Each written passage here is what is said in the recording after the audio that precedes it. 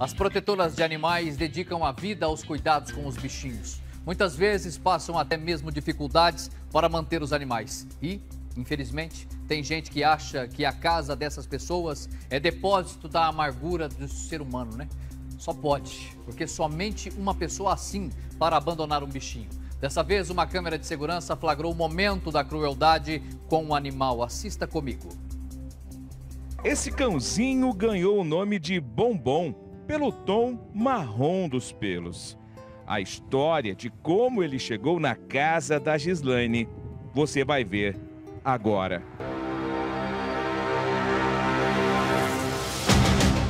A família foi flagrada por câmeras de segurança caminhando pela calçada. Mãe e filha à frente e, na sequência, o pai com o cachorrinho nas mãos. Veja que eles caminham tranquilamente até chegar na frente da casa onde abandonam o filhote.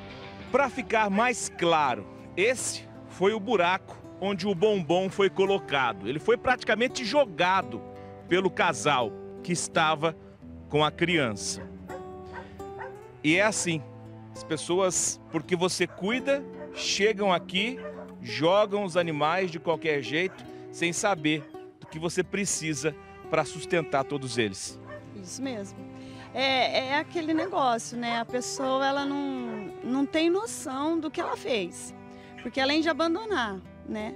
E saber da vida que a gente passa, o mau exemplo que ela está dando para a criança, né? Sendo que a criança é o futuro da gente. Olha o que ela, olha o que esse cara fez, né? Eu infelizmente eu não sei quem é ele, na frente da filha dele entendeu? Porque os animais lá dentro, os maiores, os cachorros, quase matou. Ele tá todo furado. Ele tá todo machucado. Você se emociona com isso? Ah, a gente chora, sabe? Porque não é fácil. A vida que a gente passa não é fácil. E ver uma vidinha dessa jogada para morrer, da maneira que ele fez, dói. Porque a pessoa não tem sentimento. Eles sentem frio, sentem fome, sentem sede tudo igual nós. Só não falam, mas falam com os olhos.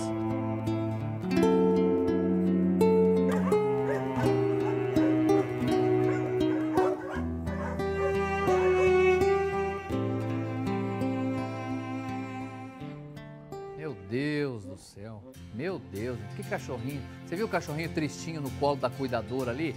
Gente, é só anunciar no Facebook.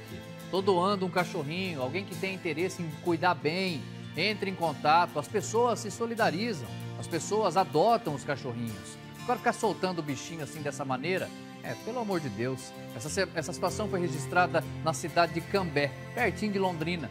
E infelizmente não é um caso isolado.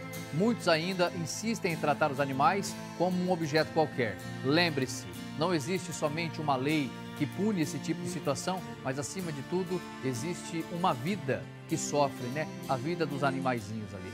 Coisa linda, bombom, hein? Cachorrinho mais bonitinho. Se fosse aqui em Foz, ia pegar para mim, mas tá lá em Cambé.